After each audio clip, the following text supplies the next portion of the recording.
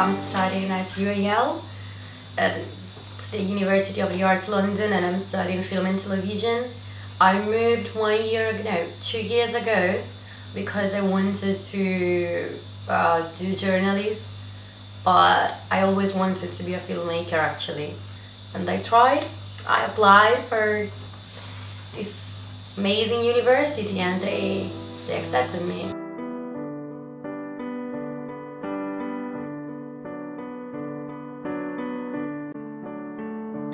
For example, if I tell someone that I'm studying arts in Italy, they will laugh at me. Here in London, it's not like that. Here in London, I said, oh, I'm, I'm studying arts. And everyone's like, wow, that's amazing. Like, what kind of arts are you doing? Or what are your ideas? Where do you want to work? And everyone is like so interested. In Italy, it's the opposite, which is frustrating because I put so much effort in my work and these people, they just don't care. We don't even have funds for the arts in Italy, which is disappointing because we have so many great minds and no one cares.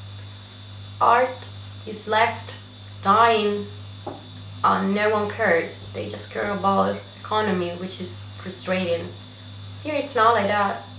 And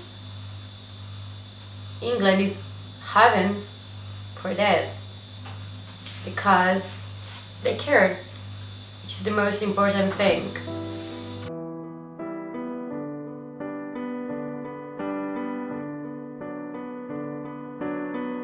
I have a lot of friends that are working here and they had they just left Italy because they wanted to do something else with their life.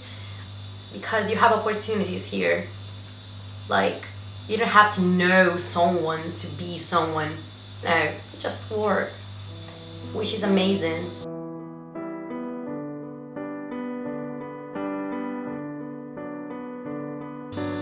Basically, there's this party in England that it's called UKIP.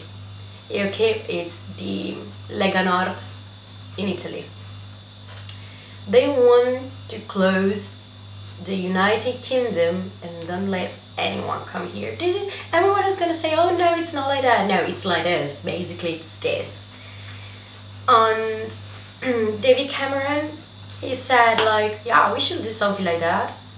Just not this is not possible because the greatest thing of United Kingdom is how diverse it is. You go to a place and you won't find like just someone from just one nationality. There's gonna be everyone from different places and that's that's amazing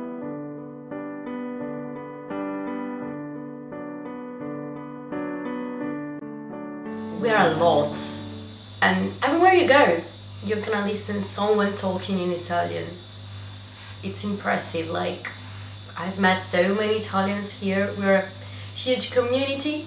Still we are divided. We don't have like for example I live in Elephant Castle and it's the Colombian place where like ghetto let's say where everyone from Colombia is here. And they decided to be united or like there's the Polish one, on the Arabic one, the Islamic one, or the Jewish one.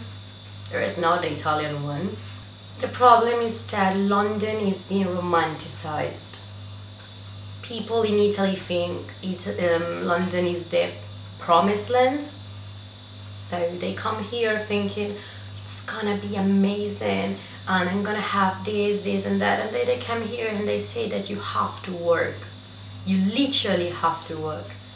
You have to get up at 5 a.m. and you don't know what time you're gonna go back home. Just for what? To pay your rent. So it's not worth it. If you don't have a plan, don't come to London. Don't move from your country if you don't have a plan.